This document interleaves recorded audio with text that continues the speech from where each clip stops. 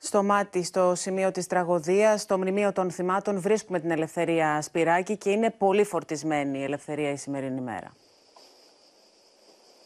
Από νωρίς το πρωί, Εύα. Είναι φορτισμένη η ατμόσφαιρα εδώ στο μάτι, αλλά και στο Νέο Βουτζά. Να πούμε ότι βρίσκεται σε εξέλιξη εκδήλωση ε, μνήμης στο μνημείο των 104 θυμάτων της ε, φωνικής πυρκαγιάς στο μάτι.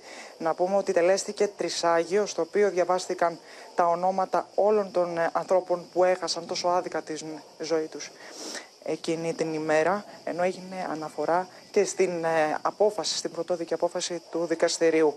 Να πούμε ότι θα ακολουθήσει πορεία προς το ναυτικό όμιλο και θα ακολουθηθεί η διαδρομή που ακολούθησε εκείνη την ημέρα η φωτιά, η οποία σκόρπισε τον θάνατο και κατέστρεψε κόπους μιας ζωής. Ναι. Ενώ εκεί στο ναυτικό όμιλο θα γίνει και μια ομιλία και στη συνέχεια στην Αργυρά Ακτή, να πω αυτό και να ολοκληρώσω, θα αφαιθούν 104 πλωτά φαναράκια.